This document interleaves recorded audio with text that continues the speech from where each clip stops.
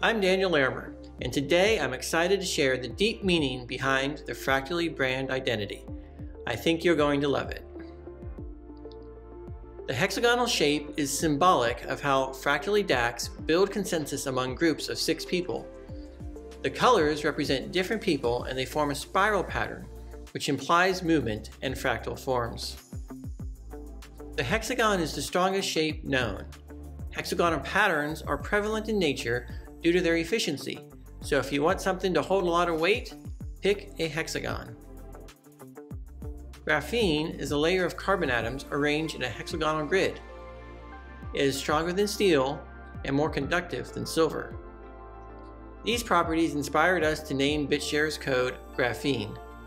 Graphene is to BitShares as Mandel is to EOS. The hexagon links fractally to our roots in BitShares, which was the first self-funding, self-governing, decentralized autonomous exchange that pioneered the DeFi space in 2013. A decentralized autonomous colony of bees store honey in hexagonal honeycombs. EOS Bees is probably onto something. It is fascinating that Hive also uses a hexagon and bee analogy. Hive was the first social media DAC and one of the first DACs to use quadratic voting for massively decentralized community funding of subjective content. But what about EOS? A hexagon is found in the center of the EOS logo, the chestahedron. Let's talk about how we spell fractally. The first letter is no ordinary F. It is the letter F with a hook, the Florin sign, which is a symbol used for multiple currencies, mathematical functions, and to indicate focal length. It is also used to represent the sound of the Greek letter phi, which defines the golden ratio.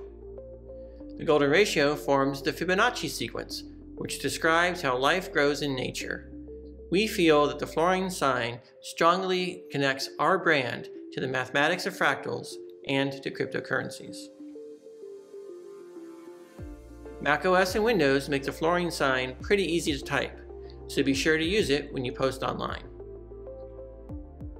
And that's the story behind the Fractally brand identity.